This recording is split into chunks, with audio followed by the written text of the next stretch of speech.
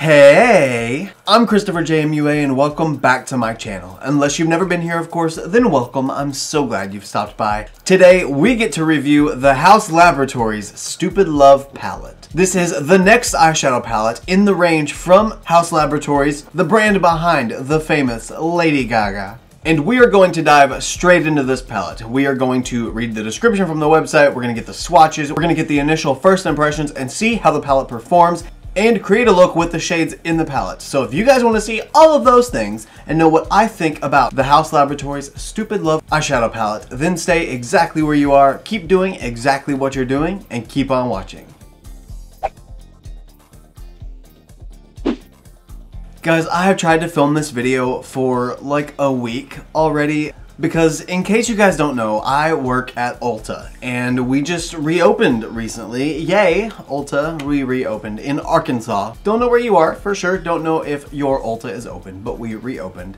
And we're on very limited staff, meaning the staff that is available is working a lot right now. I was a part-time employee because I was in school before the pandemic. Now after the pandemic, I am a full-time employee and to go from three months of not working, well, two months of not working, to all of a sudden working a full-time job, I am so tired when I get home. I've literally come down here four times at this point. Sat down, decided that I was gonna film, and just stopped. And I've actually gone to bed two of those four times. I just went straight to sleep instead. I'm doing it today, we are here today, it's happening today because I'm so far behind, and I need to make videos for you guys, and for myself.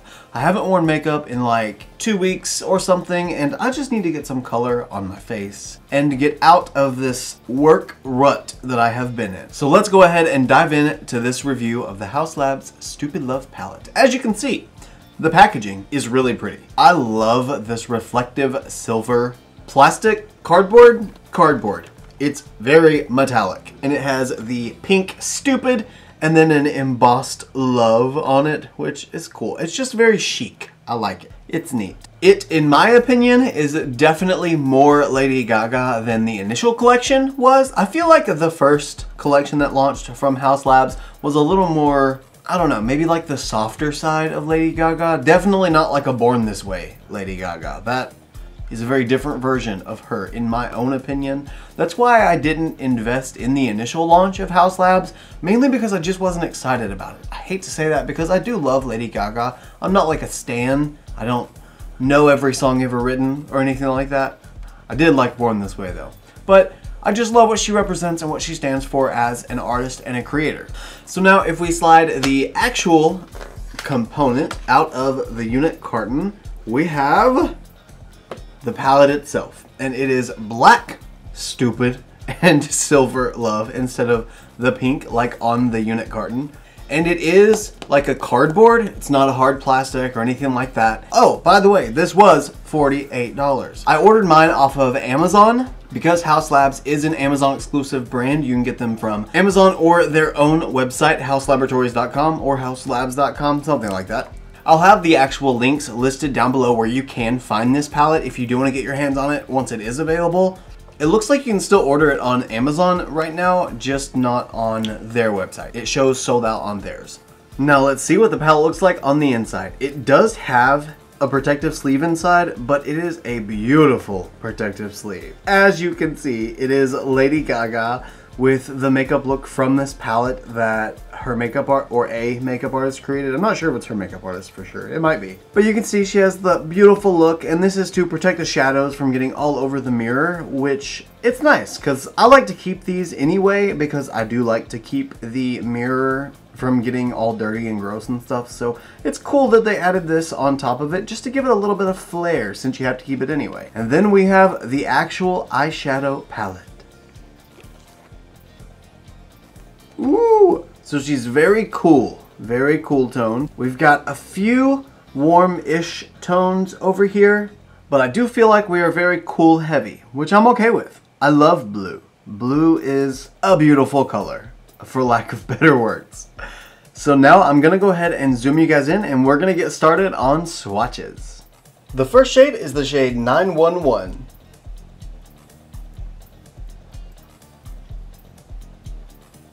Then the shade Free Woman.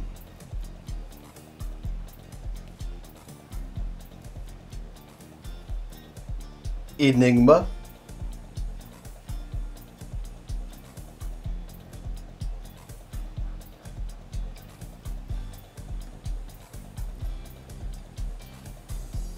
One thousand doves.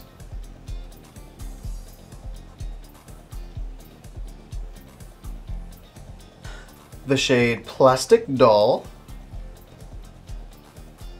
Stupid Love. Light Up.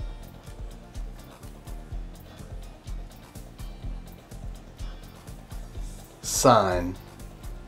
Ooh, that's really crumbly. Well, I was trying not to make a mess.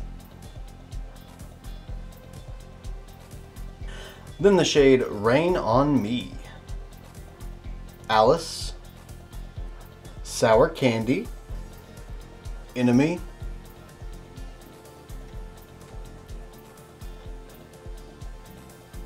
The shade Peace.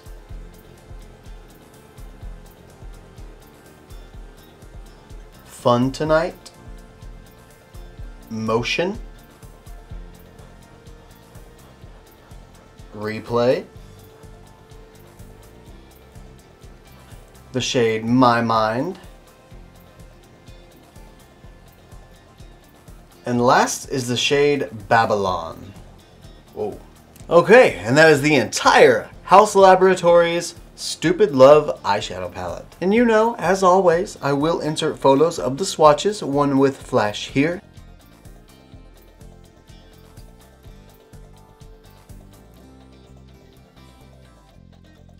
and one without flash here.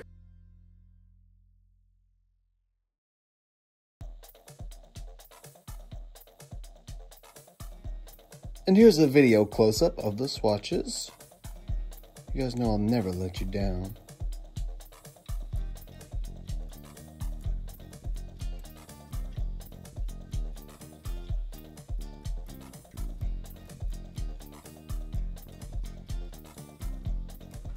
I didn't mention this before, but this mirror, this mirror, it is like massive. Can you see you? I see you.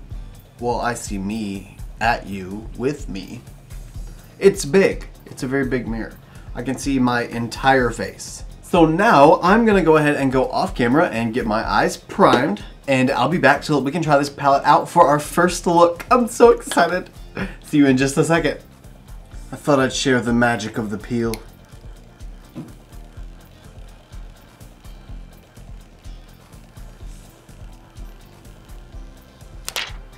Oh yes, that was beautiful. Now since I have no clue what I'm gonna do, let's go ahead and get started. Let's start out by going in with the Sigma E40 tapered blending brush and I'm gonna use the shade Enigma. Kind of a powdery shade, not gonna kick off the excess though, I'm just gonna start packing it on. And I'm just gonna take this about halfway in. I don't think I'm gonna bring it everywhere because I do want to try and use as many shades as possible. You guys know the drill if you've been here before. We try to experiment with all the shades. Not all the shades, as many as we can. As many as we can fit on the eye look. So just taking this on the outer half making sure I follow my crease line so that I go up into this like, I don't know, almost butterfly wing looking arch where it goes in this little circle here. I'm also gonna pull this shade out just a little bit so I can start the emphasis on the shape of a wing because I can't do a Haus Laboratories or Gaga type look without a wing. It's pigmented, but not overly pigmented. It's a little bit powdery it's definitely more on the drier side of a formula, but it makes it easy to work with. It's not too crazy too fast. I can control it, which is nice.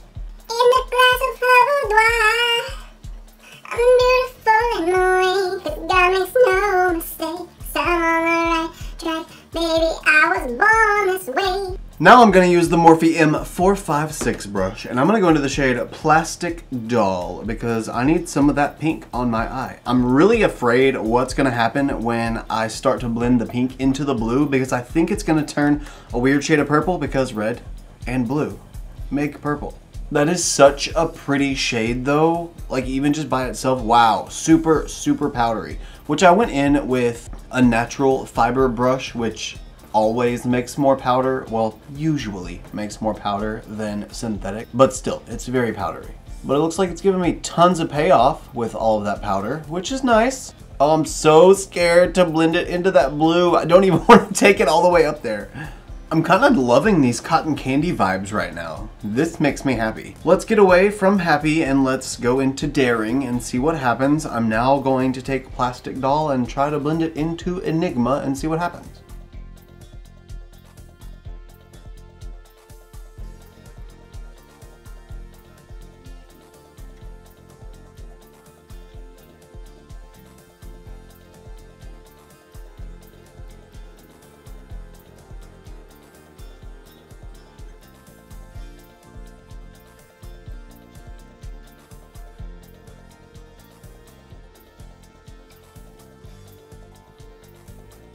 I don't really see them making a new color, actually. It just looks like they're blending into each other.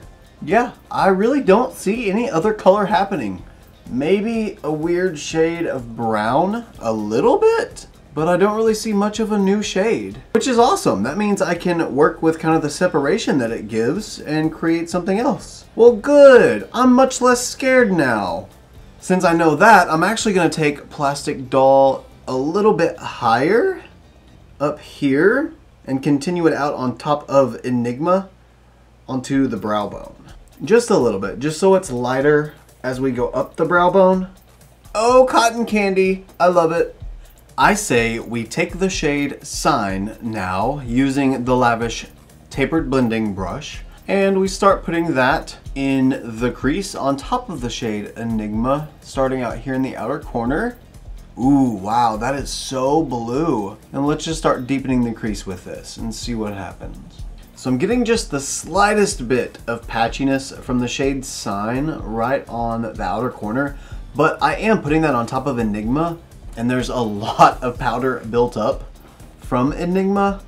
So I'm gonna just keep blending and see if maybe I can work it into that shade and see if it kind of starts blending a little bit more. It looks like it is, so I'm not too worried. Thought I'd mention it so you'd know. We're also to follow along the little wing shape here just to make sure that we keep it. Ooh, that was really cute. I like that little moment that happened there just now. These shades are actually stacking on each other pretty nicely. I'm not having any issues blending them out. I thought I was having some patchy issues, but really once I worked the blend a little bit, it just kind of melted in together. Wow, that is so pretty that like ocean light blue into that deep dark underwater blue. It's so pretty. I'm like a whale, but like a skinny one. I was about to decide that it was time to cut the crease, but I think I want to go even darker than what I've gone already. So I'm going to use the Morphe M506 brush and go into the shade My Mind. Like I'm losing my mind. And I'm going to use this to try and deepen up just this outer corner again. Maybe I'll pull it all the way through to the inner corner. I don't know. I don't know how this brown is going to sit on top of the blue. I'm just curious with it being more of like a... I don't know. It's a really weird brown. It looks like a cool tone brown, but then again, it almost looks like it has a little bit of that orange enemy in it. So I don't really know if it is cool toned or not. It's toying with my mind. Oh! I didn't even mean that. I didn't mean that, but now I understand. Maybe that's why that shade is called My Mind, because it messes with my mind. Well, it's going with the cool blue tone nicely. I don't see it causing any issues specifically. Maybe it will work with a cool tone or a warm tone. Could we have a neutral deep brown in this palette? Is that what this is? That was so surprising. This palette is just continuing to surprise me, and I like it. Okay, so now I am gonna go ahead and cut my crease. I'm gonna use the Sigma E62 cut crease brush and my P. Louise base in the shade Rumor 01, the same thing that I used as my eyeshadow base. Crease is now cut, as you can see. I went a little big, but it's Gaga. Go big or go home, you know? Think I'm just gonna start by using the shade Free Woman. I'm gonna just take the swatch that I used with my finger and just go ahead and apply that on after I make sure I have no creasing. I'm just gonna start to put it right on the lid of the cut crease. Whoa, that almost literally copied what was on my finger, like the swatch, right onto my lid. That was fantastic. I loved that. Let's see if we can do the same thing with a brush because I'm curious if I can pick up those colors with a brush. So let's find out.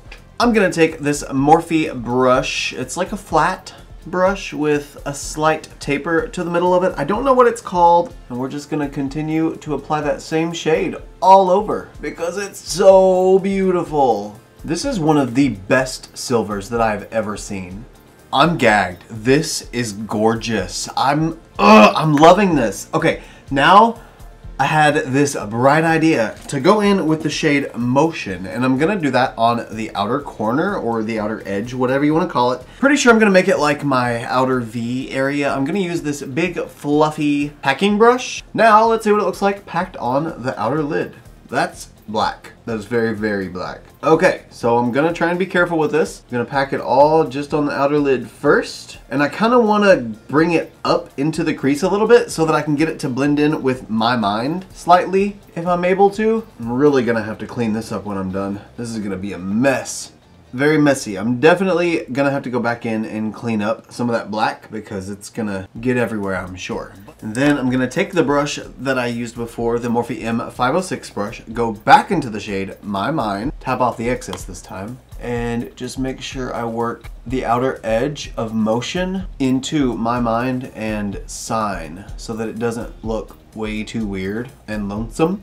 Actually, what I need to do is now take the flat brush that I was using in the shade Free Woman earlier, go back into Free Woman just so I don't let that black take over and start blending Free Woman into Motion. Ooh, love it so far. It's so fun. Now before I move on completely, which would be the lower lash line, the brow bone, the inner corner highlight, and the wing, I do need to go ahead and do my face makeup. I'm gonna do that off camera as to save time because this video would be 10 million years long and we don't want that because it's already probably long enough. So give me just a second to finish all that stuff off camera and I'll be right back.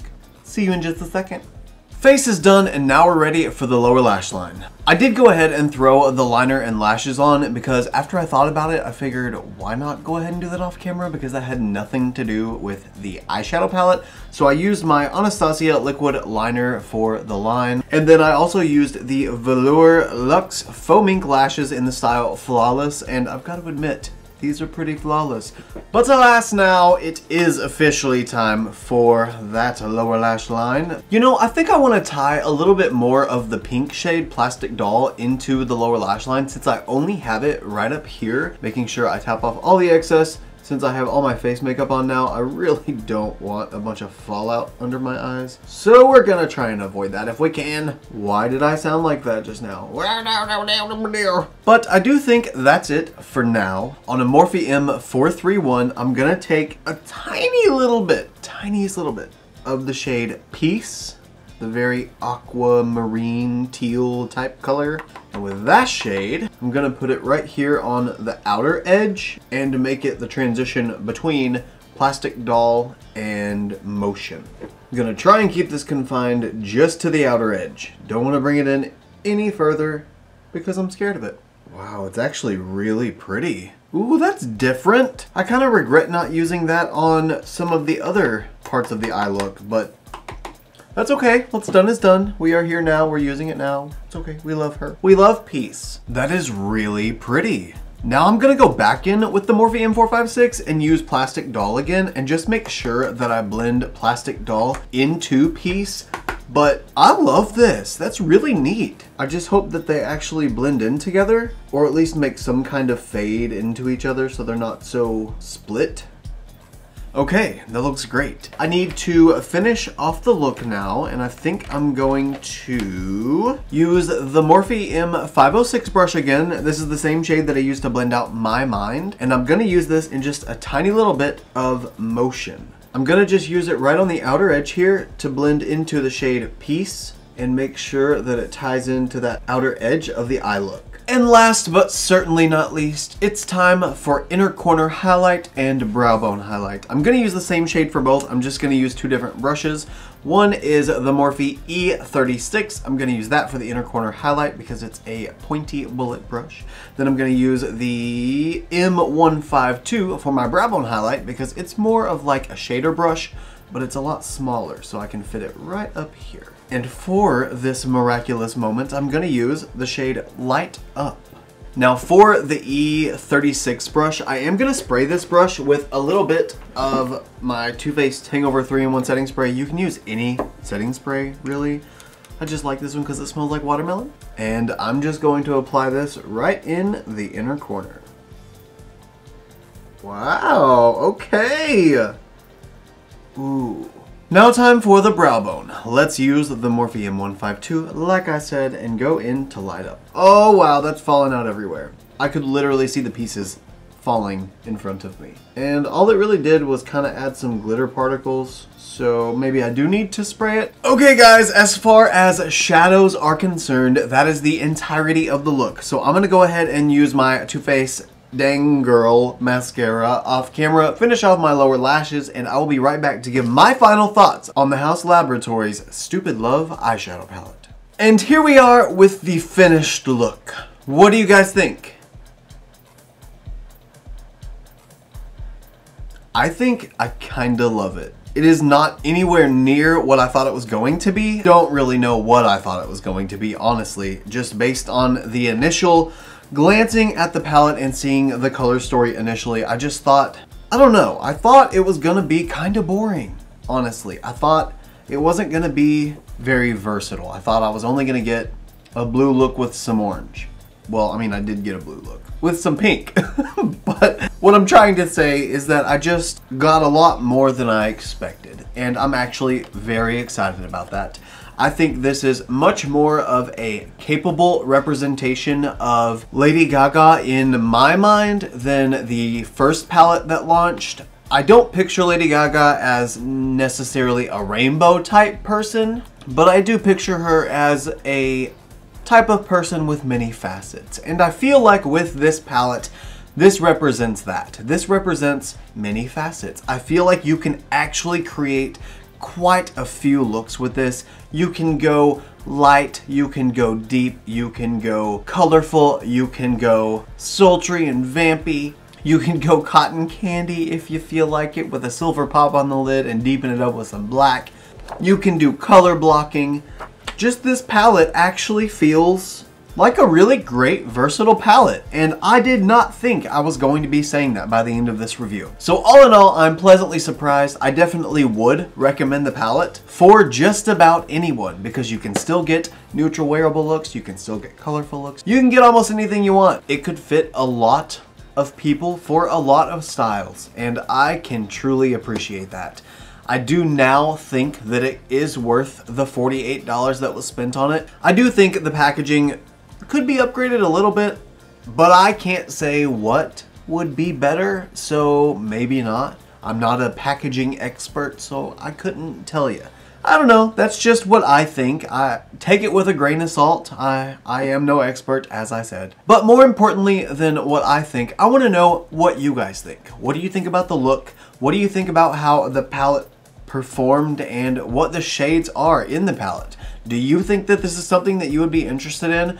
Do you think that you could create something with the shades that are in this palette? Please let me know in the comments below. I'd love to have a conversation with you guys. I always do love to have a conversation with you guys. And it means the world to me whenever you comment on my videos. It also means the world to me that you guys leave me a thumbs up. If you do, leave me a thumbs up because that's really awesome of you and it goes to show that you appreciate me as a person. If you don't, you don't have to leave me a thumbs up. And you want to see more looks like them, you can follow me on Instagram, Twitter, and and Snapchat. My username is the same for everything. It's just Christopher ChristopherJMUA. And if you gain nothing out of this video, if you gain nothing out of any of my videos, please at least gain this. And that is to always remember and never forget that you are absolutely beautiful. And I love you guys. Bye!